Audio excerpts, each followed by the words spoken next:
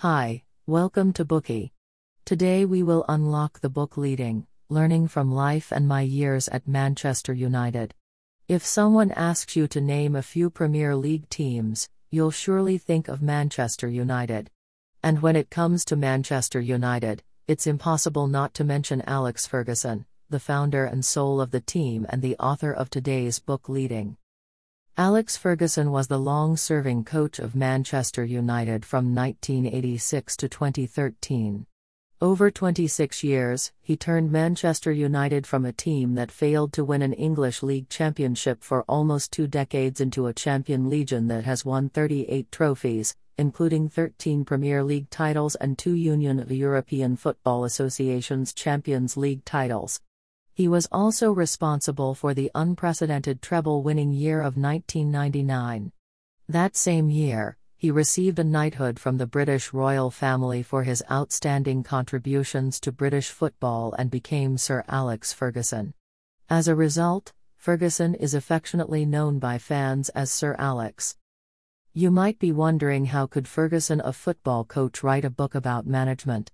It's all thanks to Michael Moritz, chairman of Sequoia Capital, a U.S. headquartered private investment firm best known for helping to shape and organize companies such as Apple, Google, and YouTube. Moritz had been following Manchester United since 1968 and always wondered how they maintained a high level of performance over several decades. Ferguson had first talked with Moritz about collaborating on a book before his retirement. But for various reasons, they couldn't turn the idea into reality. With Ferguson's retirement, they brought the project back to the table, and after several rounds of discussion, aided by Moritz, they finally completed leading.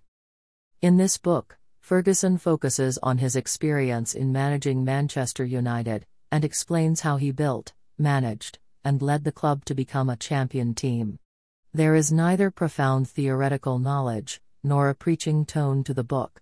The author, in a first person narrative, summarizes his successful experience from a long professional career. Next, let's read the book in three parts. The first part discusses how to improve your leadership skills, the second part examines two traits of leaders, and the third part explores resilience in leaders. In Michael Moritz's epilogue to the book, he points out that there are plenty of attributes that separate great leaders from good managers.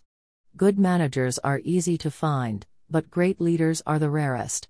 So, what should we do to improve our leadership skills if we want to be a great leader? First of all, we should learn to think and operate like an owner or a person owning a substantial stake in the business, even if we are neither in a financial or legal sense.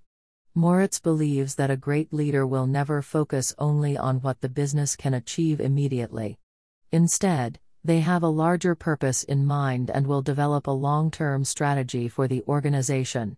Simply put, they won't neglect the company's long term growth whilst pursuing short term performance goals.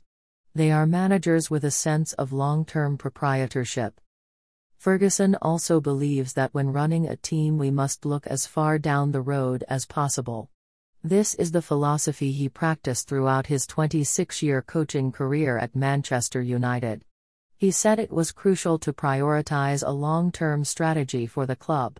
He always had to think about the team's composition a few seasons ahead and maintain its competitiveness. To achieve this goal, Ferguson set up a large scale youth system for Manchester United. This talent training system has supplied a steady pipeline of excellent football talent for Manchester United and ensures its consistently high level of performance. David Beckham, for example, is a great advertisement for the youth team policy. In 1986, Manchester United scout Malcolm Fidgeon spotted David Beckham, then only 12 years old. He was then introduced to Manchester United's Football Academy. At 17, Beckham made his debut for the first team and has been a star ever since. As well as operating and thinking like an owner, we also need to learn to listen and observe. As a leader, it's important to have a sense of who we are managing in order to draw out the best in people. The only way to figure this out is by listening.